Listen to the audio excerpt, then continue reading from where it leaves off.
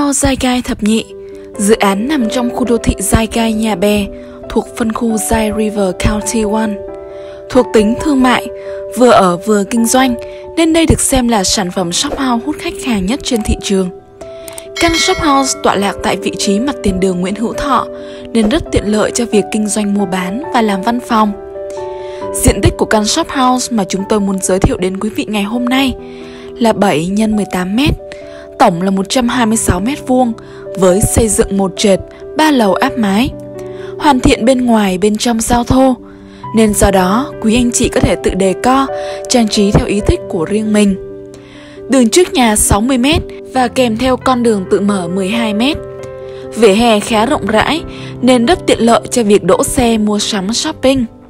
Hướng căn nhà là hướng đông nên không ảnh hưởng trực tiếp ánh nắng của mặt trời. Và bên cạnh đó, những thương hiệu đầu tư xây dựng nên dự án cũng rất uy tín và nổi tiếng.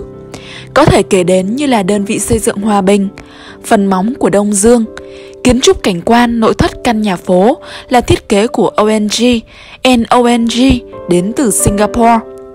Mỗi căn shop house đều được thiết kế và bố trí hợp lý, tạo nên những khu phố thương mại sầm uất và một cộng đồng cư dân đẳng cấp.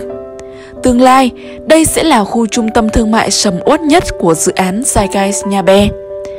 Và đây cũng được xem là mẫu thiết kế chuẩn với công năng đáp ứng được nhu cầu kinh doanh đa ngành nghề. Đây còn là khu đô thị hội tụ các cư dân ưu tú, cộng đồng cư dân văn minh, thân thiện, năng động và đảm bảo an ninh tuyệt đối. Và được đánh giá là khu đô thị lớn nhất, hiện đại nhất nhà bè. Nơi đây đã được tích hợp nhiều tiện ích sinh thái tuyệt vời và kiến tạo nên một không gian sống đúng chuẩn dành cho quý khách hàng mà không cần phải di chuyển đi đâu xa. Hệ thống công nghệ cao cũng sẽ được áp dụng cho việc quản lý và vận hành, sẽ tạo được sự an tâm trong vấn đề về chất lượng và tiện nghi cho quý khách hàng.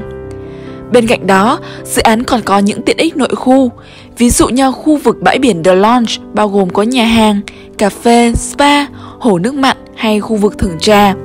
Hay là khu quảng trường, bao gồm khu tổ chức sự kiện tiệc cưới, khu tập yoga, khu vui chơi trẻ em, khu vực đài phun nước, phòng tập gym, khu vực đọc sách hay khu thác nước.